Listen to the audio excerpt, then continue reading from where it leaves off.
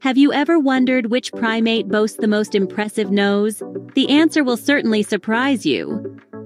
Welcome to the world of proboscis monkeys, known for their distinctive, elongated noses that can reach up to 7 inches in males. These noses are not just for show. They play a crucial role in attracting mates and amplifying calls. Proboscis monkeys are unique to the lush, tropical rainforests of Borneo, one of the few places on Earth where these fascinating creatures can be found. They're arboreal, spending most of their time in the trees, and are excellent swimmers, which is quite unusual for primates. Equally intriguing is their diet, which predominantly consists of leaves, seeds, and unripe fruits. This specialized diet has led to some unique adaptations that set them apart from other primates. Now, let's dive deeper into the world of these fascinating creatures, the proboscis monkeys. This journey takes us into the heart of Borneo, where we'll unravel more about their intriguing lifestyle, diet, and parenting habits. Proboscis monkeys lead a fascinating lifestyle. But what exactly does a day in the life of a proboscis monkey look like? Well, these intriguing primates are social animals, living in groups of around 10 to 25 members, typically led by a dominant male. Their days are primarily spent lounging, grooming, and of course, eating. When it comes to their diet, proboscis monkeys are pretty picky eaters.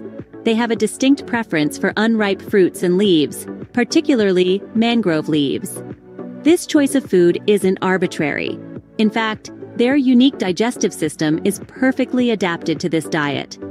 They have a large chambered stomach, similar to a cow's, that allows them to efficiently break down the tough cellulose in leaves and unripe fruit.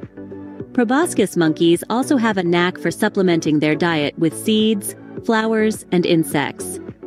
This dietary versatility helps them thrive in their natural habitats. As we can see, proboscis monkeys have a unique lifestyle and diet that sets them apart from other primates. Proboscis monkeys have a unique approach to raising their offspring. But how exactly do they do it? Well, the journey starts with courtship.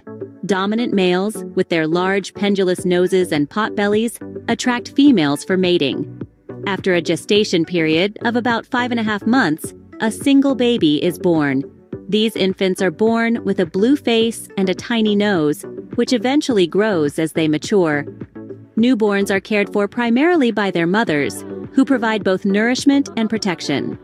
Males, on the other hand, play a crucial role in safeguarding the group from predators. Young proboscis monkeys stay with their mothers for the first two years, learning essential survival skills, social behaviors, and feeding habits. After this period, males often leave to join bachelor groups, while females remain with their natal group.